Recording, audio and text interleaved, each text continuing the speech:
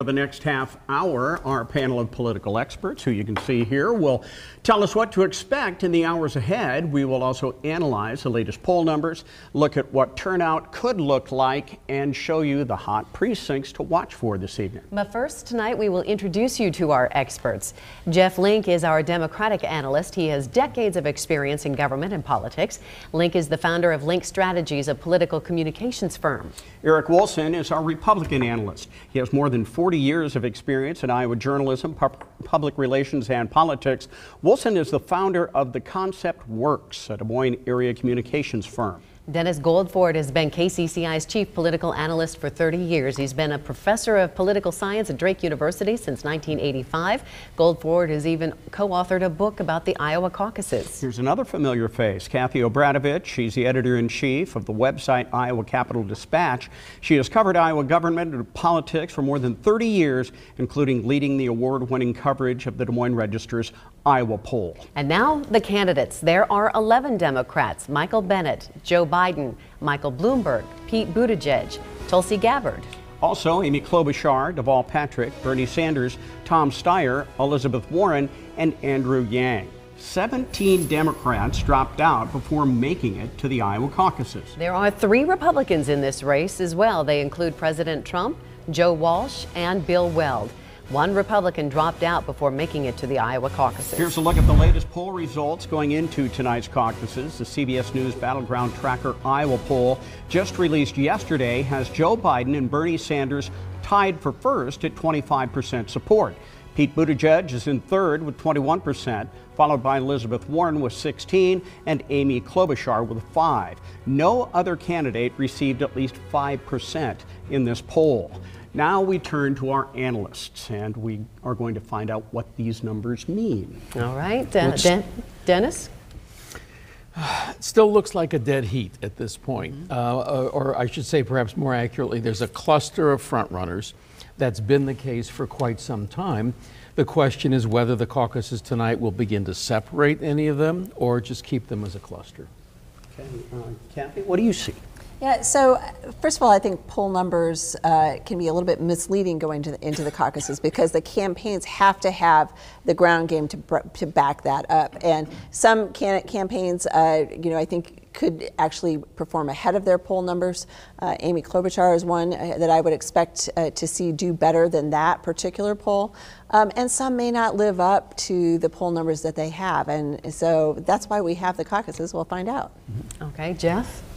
Well, a lot of what's going on tonight is expectation setting and whether candidates meet expectations, exceed expectations, or fall a little bit short. Uh, so it'll be interesting to see since the race has been uh, so tight, it's going to be an interesting uh, to see just how, how it shakes out because it's plausible that any of these top four candidates could finish first, and it's just as plausible that any of them could finish fourth. Okay, and Eric, you do have Biden and uh, Sanders tied with 25%, but it's not, that's first choice. This, uh, exactly. this time around, we're talking about second choice being very important. Yeah, and I, I, think Kathy makes a great point about the organizations, whether they exceed their expectations or not. I, I think we're going to see Sanders uh, put some distance between a few of the other candidates based on the enthusiasm that he has. But as we talk about first choice, second choice, uh, those, those candidates that aren't viable, uh, those folks have been working very hard to decide who their second choice is going to be. And I've talked to a number of folks who have tried to decide whether it's going to be Buttigieg or Biden or Biden or Buttigieg. So you're going to see that sort of movement, I think, as well. Okay, it's going to be a very interesting evening. Now, Republican parties in several states have canceled their primaries to clear the way for President Trump to automatically become the GOP nominee. But here in Iowa, Republicans will make their preferences tonight. Just last week, President Trump attracted thousands of people to a campaign rally at Drake University's Knapp Center. And dozens of Trump surrogates are on the ground right now. They're garnering support for the president. We can likely expect a dominating performance from the president tonight in the caucuses, but after the caucuses, how important do you think this state will be for him, Eric? Uh, it's going to be a very important state uh, this fall. It was it was uh, very important to the last cycle. Uh, as as Jeff and Dennis and Kathy will tell you, we're not red, we're not blue, we're sort of purple right now. We go back and forth between the two parties, uh, and so it's going to be. I, I think uh, there's going to be a very intense campaign come the general election. Okay, and Kathy, when it comes to the entire electoral map, geography is very important. Iowa has six electoral votes six can make a difference. Yeah, it can when you put it together with other really important Midwestern states that are also swing states. So, you know, if you put us with Ohio and, and Wisconsin and Pennsylvania and, and those other states as a block uh, that anybody who's going to win the presidency really has to win. Uh, Iowa, as Eric said, um, does go back and forth, and it's it's about more than just the six electoral votes. It's really about trying to put together that uh, coalition of battleground states. Dennis, is, is, Iowa still a battleground state? Well, you know, it was interesting um, as we looked at things uh, developing during a 2016 con- um, campaign. Iowa had gone Democratic for president every year from 1988 to 2012, except for 2004. Yet we knew by the end of September of 2016 that Iowa would go for Donald Trump. That should have been a signal to Democrats that something was happening out there and they needed to pay attention to it. They didn't pay attention to it in 2016. Are they paying attention to it this year? Okay, Jeff, do you see a signal on the Democratic side in 2020? I think so. I think uh, Dennis is absolutely right. Uh, the Democrats ignored particularly rural Iowa in 2016, and they didn't even come close to meeting where Barack Obama was in 2012 in that 2016 election. And I think what we've seen in this caucus is Democrats have been traveling around to rural counties. Uh, they've been meeting, uh, they've put out rural plans, almost 15 of them have put out rural plans. So there is a concerted effort to go after these voters and, and to re engage with people who voted for Obama twice and Trump in this last election, uh, you know, there's a bunch of smart people in Washington that say right off Iowa it's not going to matter. But we've had 20 candidates in this state for a year talking to people throughout the state. That has an impact. That will carry over into November. Okay, well, a large number of Iowans are likely lining up to caucus tonight and make wow. themselves heard. Iowa Democratic Party expecting a record turnout. In Polk County alone, party leaders expect a 30% increase from 2016.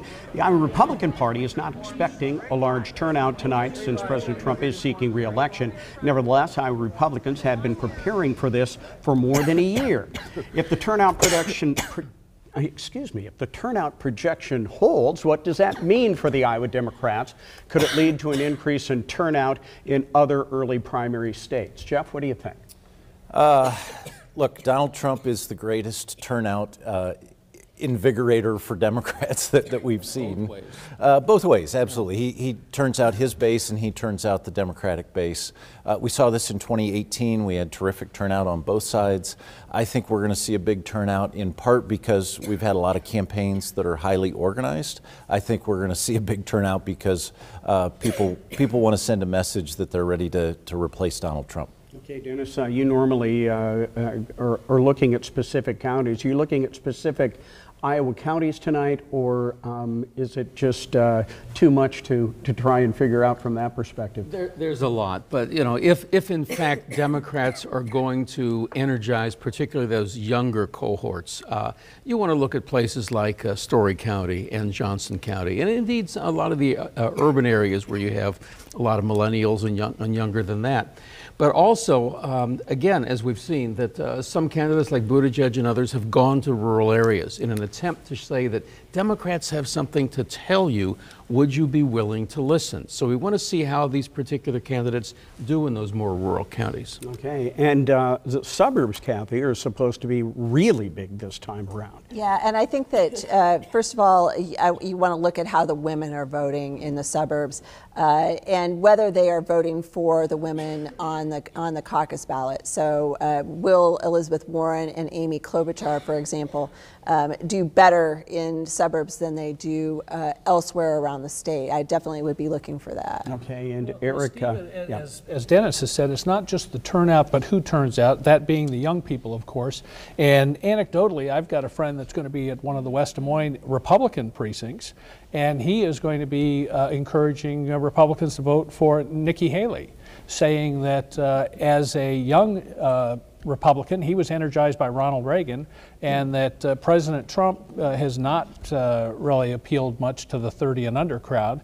Uh, and that uh, he makes the argument that maybe it's time to, uh, uh, he, not saying anything against the president, he's simply saying it's, it's time to look uh, to Nikki Haley or to someone else who will attract those young voters because He's, he said he's not concerned about this election. He's concerned about the next six or eight or ten elections where we have to hold on to the state house, we have our congressional races, we have our Senate races, and we need to appeal to, uh, to appeal to younger voters. Okay, so does that mean that uh, President Trump could be a turnout machine not only for Democrats but for uh, uh Republicans who oppose President Trump? Well, I think he's, uh, you know, I, it's going to be near unanimous, obviously, for the for the president tonight with the uh, with the Republican caucuses. And uh, you know, I had a, a, text from a friend up in Fort Dodge. That they've got a uh, central location for their caucuses, but but at six o'clock, he said we've already got hundred people here in in Fort Dodge. So I think there is going to be some enthusiasm for the president tonight. Obviously, our turnout's not going to be anything like the the Democrats. We're the sideshow tonight. We know that. Uh, but uh, but I, I think we're going to see uh, maybe some more folks out there than we expected. But you are, I am going to be interested in seeing these, you know, uh, little stories here and there, these vignettes about who's supporting somebody other than the president and why. Okay. Thank you very much, all of you. Next, in KCCI's Commitment 2020 special coverage tonight, a new way to caucus this year. We'll take you inside one of the first satellite caucus locations to see how this whole process works. And here's a live look at the caucus side at Des Moines Lincoln High School on the south side. The action will get started there and everywhere else across the state of Iowa in just about 15 minutes.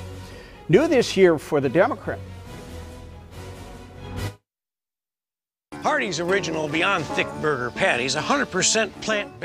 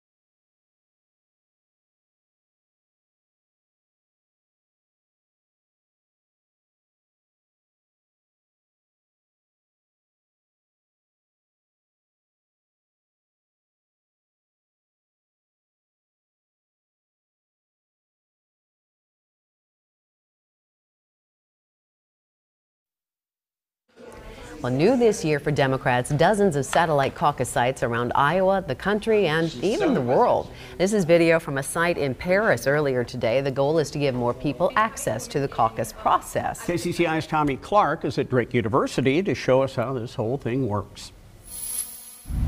Well, right now we're at what's being touted as one of the most accessible caucuses in the Iowa Democratic Party's history. We're here at the Drake Fieldhouse, and you can see that things are underway. We have a big Bernie crowd here. People have been going to the various spots as to who they want to caucus for. So the goal tonight is for it to be as accessible as possible with this first ever satellite caucus. This is one of many Democratic satellite caucuses happening around the state and around the world. But for people who may not be able to attend their own in-person precinct caucus, here at the Drake Field House, the precinct chair tells me 140 people signed up. We have about half that here. Take a listen to what people are saying. I originally signed up because I actually have a lecture um, during the original caucus period. Um, so this was just a great opportunity for me to still have um, an opportunity to caucus and get involved in that. Well, obviously a busy environment here, and they have a regular caucus following here at the field house. They're expecting about 500 people. Well, for now, I'm Tommy Clark at the Drake Field House. Back to you. Thank you very much, Tommy. Since uh, the satellite caucuses, some of them have already taken place, we already have some results coming in. This is after the second and final alignment. These are the total numbers of the uh, satellite caucus vote so far. Amy Klobuchar uh, wins with the satellite caucus goers so far with 32% of the vote, followed by Pete Buttigieg and then uh, Joe Biden and Bernie Sanders. So we'll keep tabs on that and keep those numbers uh, rolling for you. So, of course, the goal of these satellite sites is to help more people get to the caucuses. Jeff, do you think this addition will have any sort of impact on the outcome of tonight's? Um... I do. I do. I think, you know, we have almost 90 satellite sites uh, within the state, uh, around the United States, and a, a, few of these foreign locations, and I think that's a, that's a real plus. Uh, one of the goals after 2016 was to find a way to make the caucuses more accessible and more transparent. Uh, the Iowa Democratic Party wanted to do a telephone version, and that didn't quite work out, so they settled on this satellite program. And it looks like people are, are showing up and, and utilizing the satellite caucuses. Okay, and Dennis, this impacts turnout. Turnout's the name of the game. You know, as I've said for years, if in real estate the three most important factors are location, location, and location, in electoral politics it's turnout, turnout, turnout. Um, again, the uh, the Clinton folks in uh, 2016 didn't get the turnout, especially in the areas that they should have. That's what cost them the election. So it's always about turnout. The Trump campaign this year is hoping to turn out. They believe they have 2 million likely Trump voters across the country who did not vote last time they're counting on turning those people out in 2020. Okay, Dennis, thank you very much. Thank you to you all. Well, up next here on our continuing coverage of the Iowa caucuses, the precincts to watch tonight. Here's a live look at ADM Middle School in Adel. Certain locations may be able to give us kind of an early idea of how this caucus night could turn out. Weeknights, we focus on what matters to you at 9 on Me.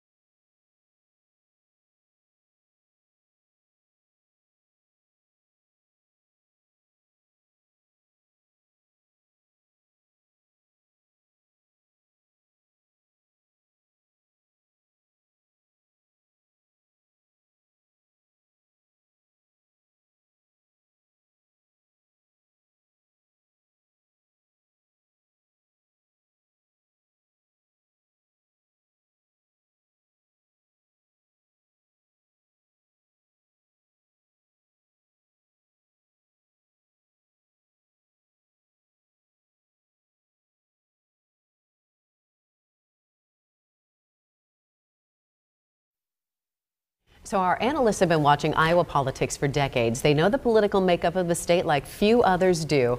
And, Kathy, I want to start with you. Are there any specific precincts you're watching for, any specific candidates tonight? Well, I would like to see how Joe Biden does in Dubuque uh, in particular. Uh, he has spent a lot of time there uh, courting, especially the Catholic vote in Dubuque, heavily Catholic County. And uh, so I think if he does not do well in Dubuque, that will be a bad sign for him around the state. Okay, Eric, we have what, just uh, a little more than five minutes before things get started here. Mm-hmm. You have run successful uh, caucus campaigns.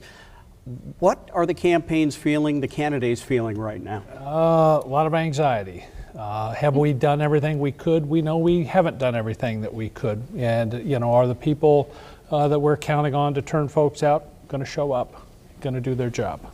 Okay, er, thank you very much. And we'll be right back with much more of our continuing caucus coverage right after this. The winner of Survivor Heroes versus Villains, Sandra.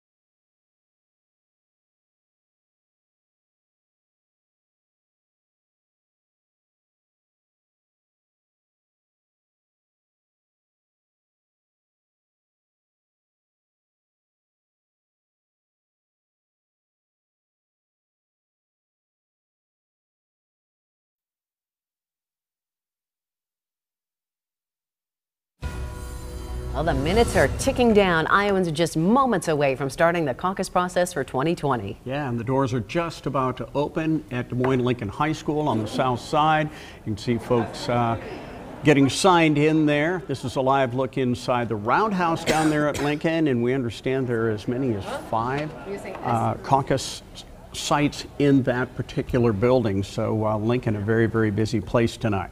Well, our Republican political analyst has a unique caucus perspective that few can understand. That's right. In 2008, Eric Woolson ran Governor Mike Huckabee's winning Iowa caucus Republican campaign. And Eric, uh, what kinds of things have you carried away from that victory? That it's always the candidate. You know, the staff likes to take a lot of credit for, for winning. You know, we find a lot in our business that uh, you know, when a candidate loses, the, cult, the consultant says we had a terrible candidate, and when the candidate wins, he says, you know, I did it in spite of the consultant, or, uh, you know, so uh, I, I, think uh, probably the best lesson to take away is, is it is a, a, team sport. You've got to have a good candidate, you've got to have a good ground organization, you've got to have a good message, and you've got to have good volunteers too. All right, thank you, Eric. Well, as always, you can count on KCCI 8 News all night long for caucus results just as soon as they are available.